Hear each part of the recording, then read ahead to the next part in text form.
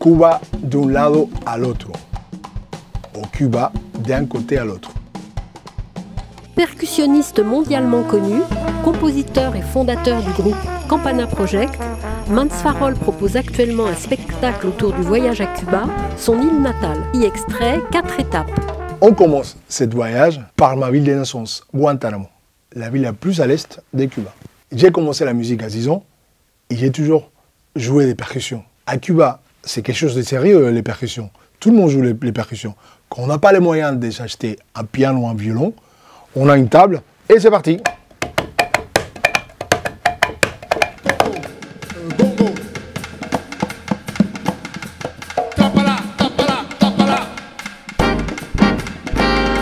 Avec la composition autour du poème Baboul, Mans Farol célèbre sa ville de naissance et les paroles de Botti, poète guantanamero.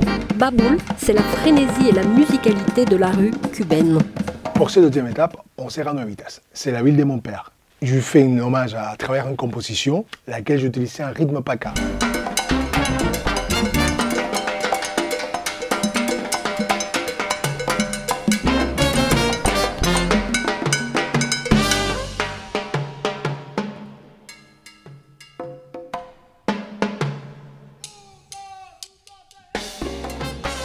Mans Farol s'adapte à tous les styles de musique, d'Aznavour et Lavillier à Patrice Caratini et Ibrahim Mahalouf, en passant bien sûr par la musique cubaine, puisqu'il a accompagné Chucho Valdez sur la tournée Jazz Bata 2.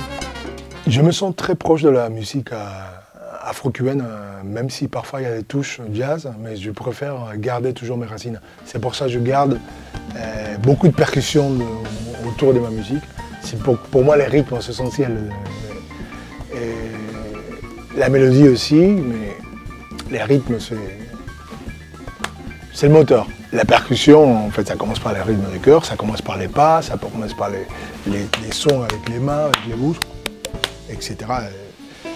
Mais il faut savoir aussi que le piano, c'est un instrument de percussion. Matanzas, c'est une ville très importante pour tous les percussionnistes cubains. C'est là qu'est née la rumba, c'est là qu'il y le guiro, bembe, arara. Pour cet arrêt Matanzas, je propose une composition dans laquelle j'ai fait double hommage à la rumba et al grand trompettiste nord-américain Dizzy Gillespie. C'est lui qui introduit les percussions afro-cubaines dans sa musique. À 13 ans, je quitte Guantanamo pour aller à La Havane, la capitale. Bahia est un quartier de La Havane. J'étais allé prendre des cours avec le grand percussionniste José Luis Quintana, dit Changuito. Il était mon professeur, il reste une des grandes références musicales.